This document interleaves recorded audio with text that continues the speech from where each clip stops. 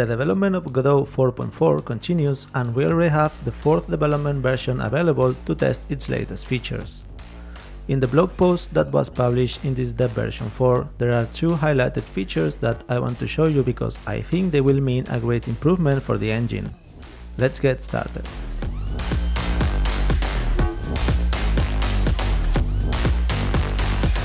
The first of these two new features is the ability to view, edit and interact in real time with the game elements.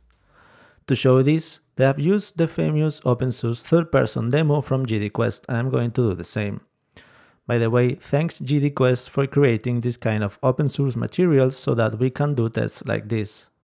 To show you this feature, I have to make the Godot window smaller and now you will see why. I'm going to run the game, and if you notice we have a new tab at the top of the editor called Game. Here we can go for example pause the execution of the game. We choose the 3D mode and here we only have to click on any element of the game to be able to see the properties of that node in the editor. In addition, we have the option to enter free camera mode to explore the current scenario and thus be able to debug the game in a more much comfortable way. I believe Unity already has this functionality, correct me if I am wrong, but with this option debugging your game will certainly be much easier since you will be able to see in real time the instances of your wall with their respective properties.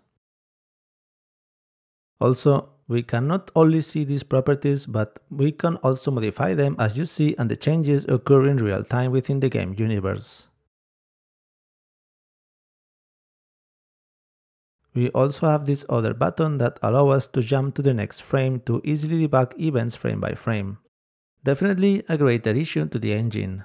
Right now this functionality is only available by launching the game in a new window, but if I'm not mistaken, in the next development version they will enable the option to run the game directly within the editor. The second feature I want to show you concerns something as silly as moving elements around on a 3D map. If you have ever wanted to move a box, for example, you have to move it axis by axis, adjusting it so that it sits exactly on top of a surface. This is a tedious task and if you're a perfectionist like me, it can take you quite a while to get it right. Well, starting with Godot 4.4, we have the option to, once an object is selected in the 3D world, press Shift plus G to enter this intelligent object repositioning mode. As you can see, the object will adapt to the surface you move the mouse to. No more having to move objects pixel by pixel so that they sit right on surfaces. It seems like a simple little improvement, and it really is, but I think it will make life much easier for map designers in 3D games.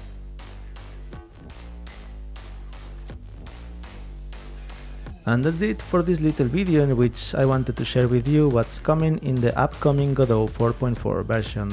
We have a link to the blog post in the description in case you want to see the full report of what this fourth version of the Godot 4.4 beta includes. Thanks for watching the video until the end.